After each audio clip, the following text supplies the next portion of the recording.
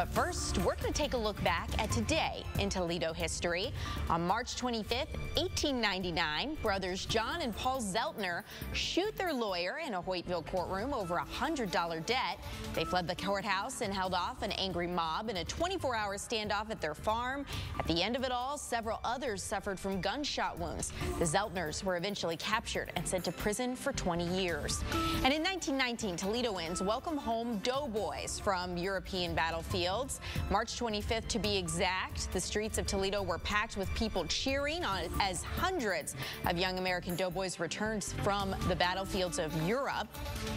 And third this morning, 1923, city officials concerned over residents bringing home alligators from Florida. So yeah, actually March 25th, 1923, city officials started voicing their concerns about the number of Toledo residents vacationing away in Florida and then coming home with baby alligators. And on this day in 1934, feminist writer Gloria Steinem was born in Toledo.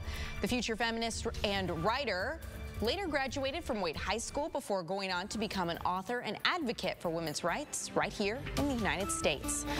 Your day is going to be right back in just a moment.